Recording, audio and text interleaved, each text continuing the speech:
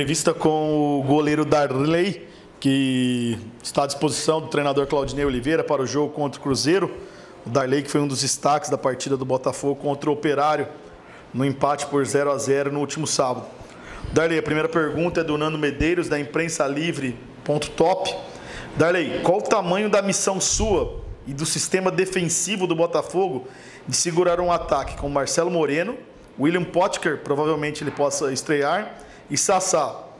Isso com a circunstância de que, de que o Botafogo tem que pontuar em todos os jogos daqui para frente para sair da zona de rebaixamento. É, boa tarde. A gente sabe, né, que a equipe do Cruzeiro, independente de quem está jogando, é uma grande equipe. A gente sabe da qualidade dos jogadores que ali estão, é, mas a gente também sabe do nosso valor. Nossa equipe é, tem mostrado ali na parte defensiva que está bem equilibrada e a gente espera né, fazer uma grande partida, como eu falo sempre, sempre em busca dos três pontos, independente né, é, da equipe que vem jogar contra a gente, a gente sempre procura os três pontos e não vai ser diferente contra o Cruzeiro. Agora a pergunta é do Jorge Vinícius, da Rádio 79, Grupo Tati. Darley, o Botafogo em nove jogos como mandante, no primeiro turno, perdeu cinco. Para o segundo turno, serão dez partidas no estado de Santa Cruz.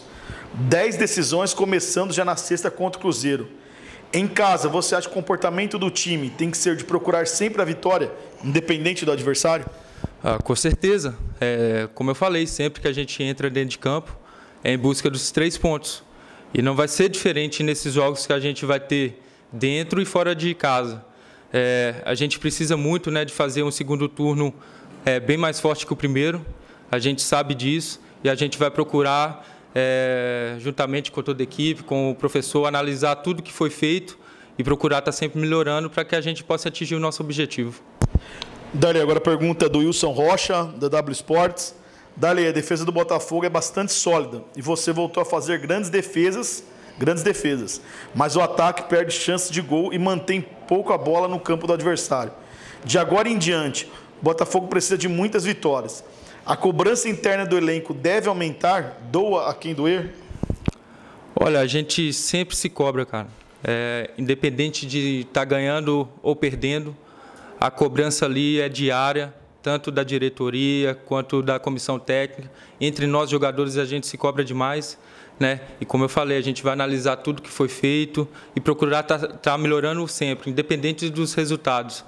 E isso a gente já vai procurar fazer contra o Cruzeiro, né? A gente sabe da importância desse jogo, né? É, começar bem o segundo turno é muito importante para a gente, porque a gente almeja sair dessa situação que nos incomoda demais. É muito ruim trabalhar desse jeito e a gente vai sempre ali, que entrar dentro de campo, está procurando fazer os três pontos.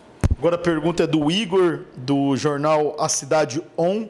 Darley, você já passou por diversas situações dentro do clube, sendo um dos líderes desse elenco.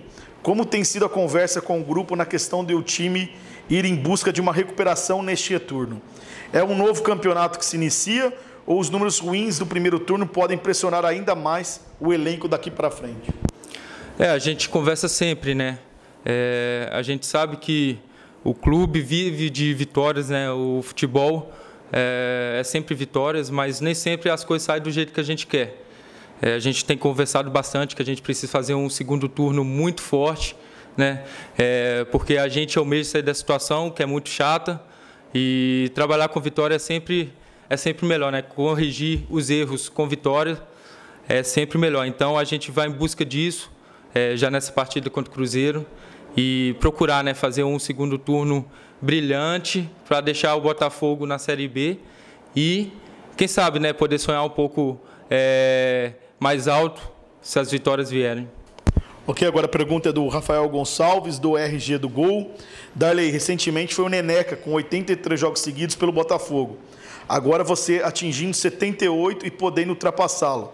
No seu caso em específico, os, o corpo às vezes dá sinais de cansaço por essa maratona toda. Já jogou com dores? Se preciso for, você pe pede um descanso ao Claudinei ou valeria qualquer sacrifício, principalmente agora? Cara, eu acho que vale qualquer sacrifício. É, realmente, né, são jogos desgastantes, é, um atrás do outro, mas A gente tem o processo de recuperação também que o clube faz, dá toda a estrutura para isso. Tem os profissionais né, é, que desenvolvem essa, essa parte ali. E também na minha parte também tem a questão do Kiko, né, que a gente está sempre conversando. É, tem o fator do descanso também, a hora que tem que puxar mais, a hora que tem que diminuir a carga de trabalho, é, porque o importante é o jogo, né? Então, cara, é, acho que chegou um momento que qualquer sacrifício vale. Acho que nenhum jogador dificilmente joga sem dor. É, e a gente tem que passar por tudo, cara, independente de qualquer situação.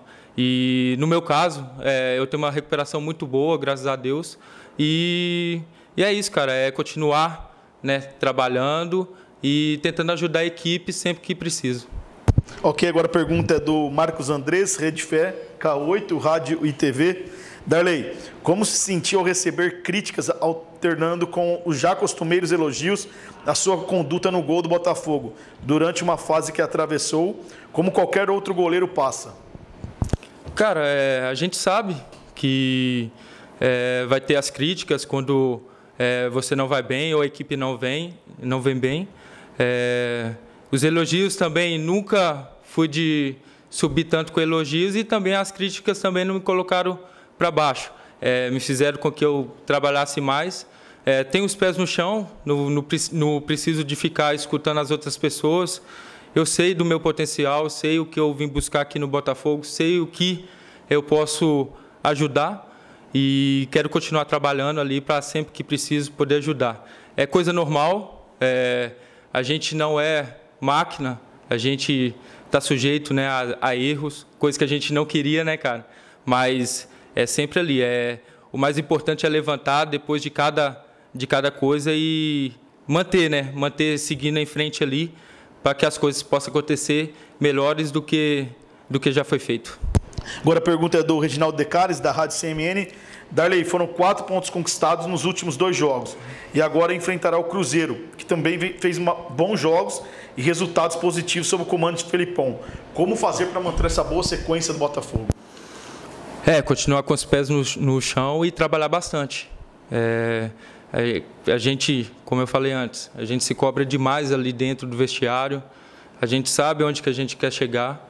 É, uma sequência né, de jogos é, bons nos ajuda demais, pontuando sempre, o que é mais importante nessa competição. E a gente precisa disso, né? É, contra o Cruzeiro, uma, uma equipe que vem numa crescente muito boa e a gente espera como eu falo sempre, fazer os três pontos ali e dar sequência, né? É, a gente precisa fazer, ficar um bom tempo sem perder. Isso é muito importante para dar confiança para o grupo, para os jogadores e a gente vai atrás disso. Ok, agora a pergunta é do Geraldo Neto, da IPTV. Darley, Felipão disse que precisa de quatro vitórias seguidas nessa retomada do Cruzeiro. Qual mensagem você, como um dos jogadores mais experientes e identificados do atual grupo do Botafogo, pode passar para o torcedor acreditar que o time vai dar a volta por cima na Série B?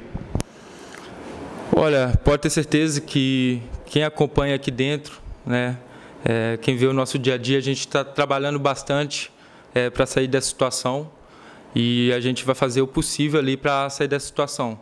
É, a gente pede né, que eles continuem acreditando que com certeza a gente vai dar o retorno ali dentro de campo. Não adianta ficar aqui falando, falando, é, porque a gente sabe que é, as coisas só se resolvem lá dentro. Então é isso, é continuar dedicando. É, a cobrança dentro do vestiário sempre acontece entre a gente e a gente vai em busca de uma sequência para tirar o Botafogo dessa situação. Agora a última pergunta é do Luiz Augusto, da Rádio CBN. Darley, você tem uma média de um gol sofrido por partida na Série B. Precisa melhorar esse número para o time evitar o rebaixamento? E você é mineiro e foi formado no Atlético na infância era torcedor da Raposa ou do Galo? Tem alguma história curiosa do tempo em que você era apenas um torcedor em Minas Gerais? É claro, a gente quer estar tá sempre melhorando essa meta e, e vai ser muito importante melhorar essa meta para sair dessa situação que nos incomoda. É, enquanto a torcida, né, eu fui criado ali no Atlético Mineiro, entrei com 12 anos, a família é bastante dividida, né, tem vários torcedores é, do Cruzeiro, do Atlético Mineiro. Mas ali eu sou, sou profissional, me dediquei muito assim com o Atlético Mineiro. É, e uma história curiosa, não chega a ser assim engraçada, mas o fato de eu de quando eu estava no Atlético Mineiro, com acho que meus 15 anos. Fui no Mineirão, né, assistir o jogo do Atlético Mineiro é, com meus colegas de, de clube. E tava o Danley jogando, né? E, é, tipo, lembro que o Mineirão, a torcida do Atlético Mineiro lotava o Mineirão ali. E começaram a gritar Danley, Danley. Então, como o nome é parecido, né? Darley, Danley, eu já me imaginei ali dentro. Então, aquilo ali para mim era era sensacional, sabe? Escutar o nome dele sendo gritado, imaginando eu podendo jogar com aquela torcida toda é, gritando meu nome também. É, sou grato a Deus, né, de, de ter me abençoado, de ter me tornado profissional. E é uma lembrança assim que eu tenho é, daquela época que eu vivi no Atlético Mineiro.